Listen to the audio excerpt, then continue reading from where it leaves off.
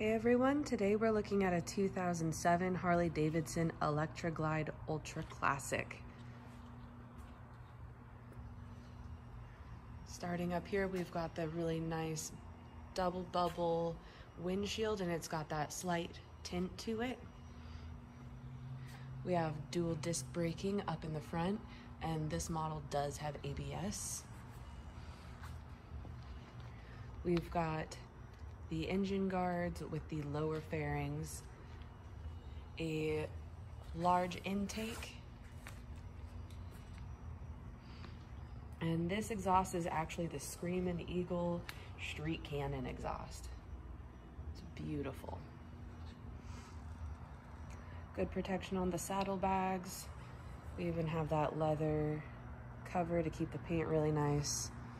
Tour pack has the luggage rack on it. And passenger backrest does have those speakers integrated.